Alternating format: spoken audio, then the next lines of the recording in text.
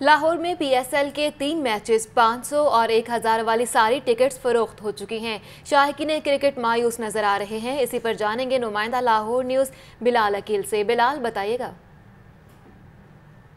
موجود ہوں Gulberg T C S centre میں، جہاں پر پاکستان سپر لیگ فور کے لاہور میں ہونے والے میچوں کی سے ٹکٹوں کی فروخت کا سلسلہ جو ہے وہ آج صبح آٹھ بجے سے شروع ہوا۔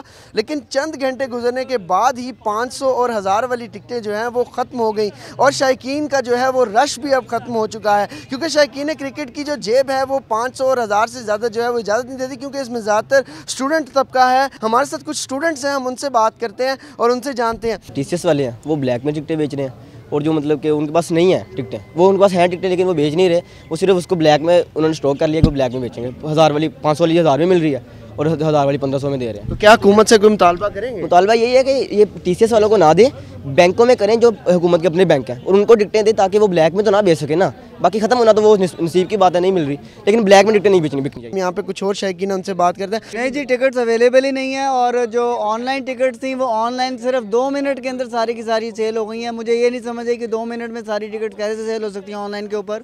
اور جب یہاں پہ لینے کے لیے آئے ہیں تو یہاں پہ سٹارٹ ہی دو ہزار سے ہو رہی ہیں ہزار اور پانچ سو کی اویلیبل ہی نہیں ہے اب آپ مجھے یہ بتائیں کہ جس بندے کا بجٹ ہی لمیٹڈ ہو، وہ کس طریقے سے پرچیز کر سکتا ہے اتنی ہیوی ٹکٹ صبح سے آئے ہوئے ان کو پانچ سو والی ٹکٹ ملی، لیکن اب جو ہے وہ ٹکٹیں ختم ہو چکی ہیں۔ شائقین کا رش بھی یہاں پہ ختم ہو چکا ہے۔ دیکھنا ہوگا کہ اب شائقین جو ہیں وہ پانچ سو ہزار والی ٹکٹ جو اپنی من پسندیدہ ٹکٹ ہے، اسے حاصل کر کے پاکستان سپر لیگ کے میچ انجوائے کر سکیں گے یا نہیں؟ جی۔